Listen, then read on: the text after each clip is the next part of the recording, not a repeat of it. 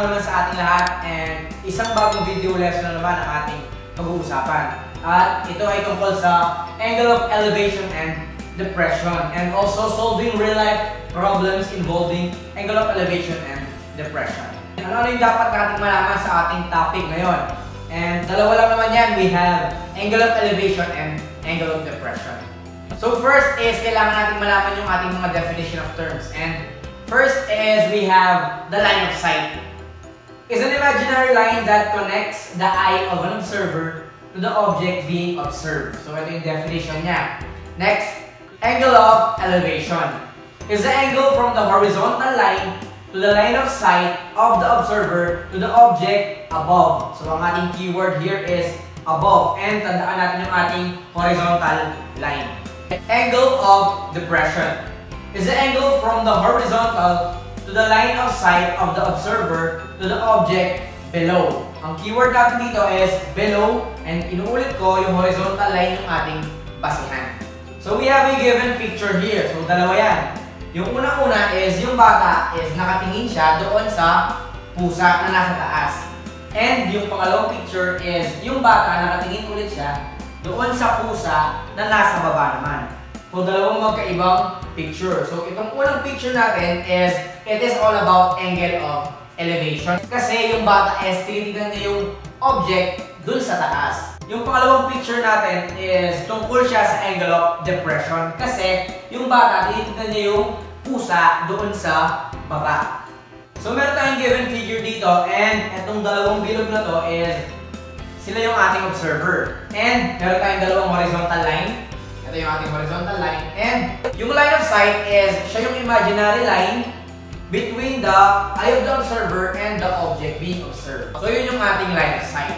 And syempre, meron tayong horizontal line. Inuulit ko, yung horizontal line is, siya yung magiging basihan natin kung paano ba natin malalaman kung sino ba yung above or sino yung below para malaman natin sino yung angle of elevation and angle of depression. Kung titignan natin is we have angle of depression and angle of elevation. So, ito yung ating observer, yun yung object na tinitignan niya. So, ito yung ating horizontal line. Yung angle between the horizontal line and the line of sight, yun yung above, above, is the angle of elevation. And this time, ito yung ating observer, titignan niya yung object dun sa baba. Ito yung ating horizontal line, ito yung line of sight. So, yung ating angle of depression is the angle between the horizontal line below dun sa ating line of sight. So, ganoon natin maiintindihan kung ano ba yung angle of depression and angle of elevation. Inuulit ko, horizontal line, tapos below is siya yung angle of depression. Horizontal line, above, siya yung ating angle of elevation. And take note, angle of elevation and angle of depression are equal. Bakit? Because they are alternate angles. Tandaan natin, ang angle of depression at ang angle of elevation are equal. So topic natin today is gagamitin natin yung ating trigonometric ratios and yung ating mnemonic na ginagamit or the ratio using SOHCAHTOA. Sine, cosine, tangent. Inuulit ko, gagamitin natin yung dalawa na to para ma-solve yung unknown, kung angle man yan or kung side man yan ng ating given problem. Example number 1. A tower is 15.24 meter high. At a certain distance away from the tower, an observer determines that the angle of elevation to the top of it is 41 degrees. How far is the observer from the base of the tower? So, ito yung ating given na problem. And syempre, unang-unang gagawin natin is, ito drawing natin yung sinasabi ng ating problem. So, nandito yung ating illustration dun sa ating given na problem. Meron tayong tower, and then yung ating observer, yung bilog na maliit. We have the horizontal line and the line of sight. So, yung ating tower is 15.24 yung kanyang height. So, sa ating given na figure is, dito natin ilalagay yung ating 41 degrees. Bakit? Kasi, ito yung ating observer, horizontal line, above, between sa ating line of sight. So, ito yung ating angle of elevation. Inulit ko, horizontal line, tapos above, pagitan ng ating line of sight. So, yun yung ating angle of elevation. And yung ating unknown is yung distance from the observer to the base of the tower. So, ito yan. So yung ating solution is, ano ba yung gagamitin natin? So, ka, towa. Anong ratio ba yung ating gagamitin? Depende dun sa ating given na problem or dun sa ating illustration. So, titignan natin kung ano yung sides na meron tayo. And ang magiging basehan natin dito is yung ating 41 degrees or yung angle natin which is the angle of elevation. So, ang ating opposite is 15.24. Opposite side ng ating 41 degree is 15.24. And yung ating adjacent, yung unknown which is yung ating x, yung distance from the observer to the base of the tower. So, opposite and adjacent. So, sa ating SOHCAHTOA, ang may opposite lang and adjacent is TOA. So, we will use tangent or TOA, yung ratio ng ating tangent. Tangent theta is equal to opposite over adjacent. Yan yung ratio ng ating tangent, yung ating TOA. So, tangent 41 degrees is given 15.24 yung ating opposite and yung adjacent natin is x. So we will cross multiply. Si x mapupunta kay tangent 41 degree. So anong nangyari? x tangent 41 degree is equal to 15.24. And may kasama pa si x which is tangent 41 degrees. So i-divide natin both sides by tangent 41 degrees. So anong nangyari is makakancel na si tangent 41 degrees. And i-divide natin sa kabila ng tangent 41 degrees si 15.24. 24. Next is x is equal to 15.24 divided by tangent 41 degrees. So using your scientific calculator, 15.24 divided by tangent 41 degrees is 17.53 meters. So yung distance natin from the observer to the base of the tower is 17.53 meters. Example number 2. A man flies a kite within 100 foot string. The angle of elevation of the string is 52 degrees. How high of the ground is the kite? So ito yung ating given or yung ating illustration. So we have a kite. Ito yung ating observer, line of sight, horizontal line, and ito yung height natin. So from the observer to the kite, ito yung line of sight or yung string natin is 100. 52 degrees, tingnan natin. Horizontal line, line of sight. So horizontal line, above. Yung pagitan ng line of sight and the horizontal line, above is 52 degrees. Siya yung ating angle of elevation. So x is our unknown. Ito yung tinatanong. How high of the ground is the kite? So our solution, ano ba yung gagamitin natin na ratio or mnemonic? So, ka, towa. So titingnan natin yung ating parts dun sa ating given na figure. So we have, ito yung basis natin, yung ating 52 degrees. So yung opposite side natin is x. And then yung ating hypotenuse or the longest side is yung ating 100. So opposite, hypotenuse. Alin ba sa tatlo yung ating gagamitin? So we have opposite and hypotenuse. So yung may opposite and hypotenuse lang is sine or so. So we use the ratio of sine or yung ating so. Sine theta is equal to opposite over hypotenuse. So ito yung ratio ng ating sine or yung so. So our opposite is x, hypotenuse is 100, and yung ating angle is 52 degrees. Next is we will cross multiply. Si 100 mapupunta kay sine 52 degrees. 100 sine 52 degrees is equal to x. So si x is nag-iisa na lang siya. So pwede natin i-compute to. So using your scientific calculator, 100 times sine 52 degrees is 78.80. So yung ating height is 78.80 feet. So ito yung ating final answer. Example number 3. An airplane is flying at a height of 4 kilometers above the ground. The distance along the ground from the airplane to the airport is 6 kilometers. What is the angle of depression from the airplane to the airport? Same process, syempre, i-drawing natin yung ating given a problem. So, meron tayong airplane and airport. So, yung ating observer is yung ating airplane. And syempre, yung ating horizontal line and yung line of sight between yung observer dun sa ating object na ino-observe niya. So, yung ating height from the airplane dun sa ground is 4. And then, yung distance naman ng ating airport to the ground na nasa baba ng ating airplane is 6 And ang ating tinatanong is yung angle of depression. Bakit ito yung angle na hinahanap natin? Kasi horizontal line dun sa observer below. Ito yung ating line of sight. So ito yung unknown natin. So pwede ba natin hanapin itong angle na to?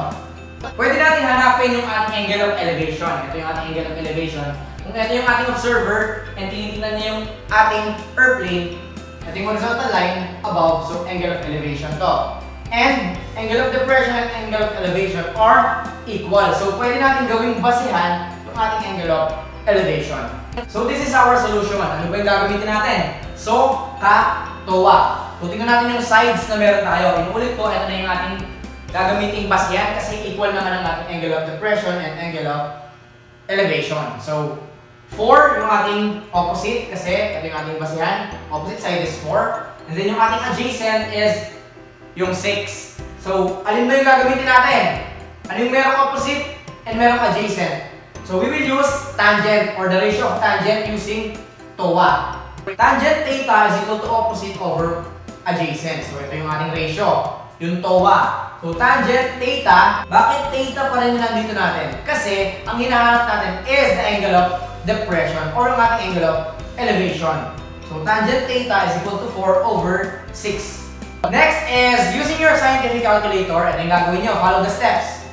4 divided by 6 equals, then shift tangent equals.